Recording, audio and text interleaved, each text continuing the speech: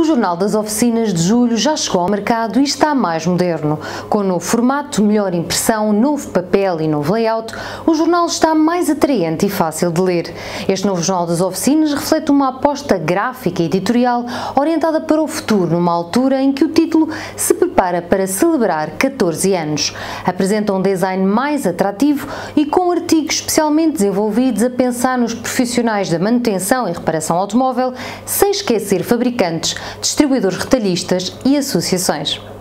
Rumámos a norte para conhecer as novas instalações da Veneport. A empresa especialista em sistemas de escapes e filtros de partículas levou a cabo uma profunda mudança do seu espaço com vista a proporcionar melhores condições aos funcionários.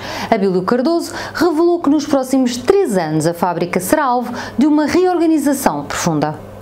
Realmente a Beneport tinha uma necessidade de espaço nos serviços administrativos, técnicos e comerciais.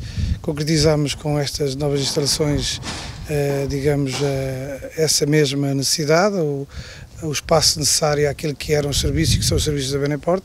Reforçámos também aquilo que foram as condições de trabalho dos nossos diferentes colaboradores. A próxima aposta da Beneport vai ser claramente na organização eh, industrial e, portanto, numa mudança muito grande de organização, com muitas práticas que, que de referência instaladas na parte produtiva.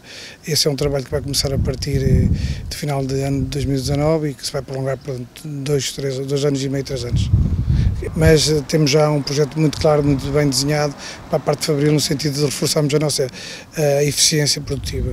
O site da SAS tem uma nova imagem e mais funcionalidades. O objetivo é facilitar o acesso da informação para todos os clientes da marca. Uma das novidades é um novo menu de acesso rápido ao catálogo interativo e ao formulário de contacto. A equipa da ZF Aftermarket também criou um formulário para contactar o serviço de atendimento ao cliente com dúvidas e questões sobre os produtos o número de modelos de veículos elétricos vai triplicar no mercado europeu até 2021, segundo um estudo da Federação Europeia dos Transportes e Ambiente.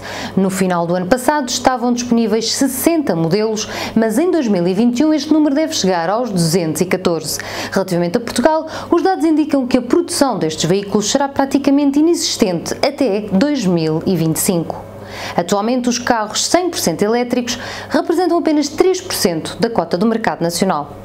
A Continental está a ampliar a sua gama de correias de transmissão para pesados. Conta com mais de 40 novas variantes de correias estreadas para o acionamento de componentes auxiliares.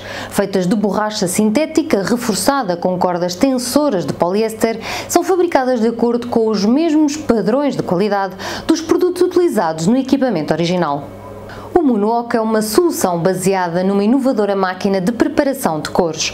Com este sistema, a PPG quer entrar numa nova era e otimizar o consumo de tinta, automatizando o processo de mistura. O grupo americano levou três anos para desenvolver esta máquina de preparação de cores, por forma a reduzir os tempos de mão de obra e poupar produto por meio de automação do processo de mistura.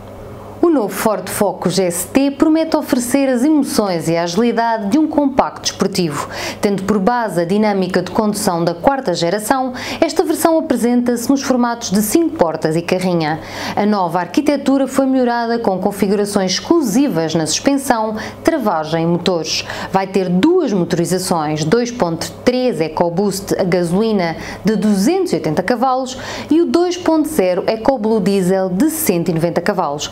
Estão disponíveis dois tipos de transmissão, manual de 6 velocidades e automática de 7 relações. E por hoje é tudo. Fiquem bem.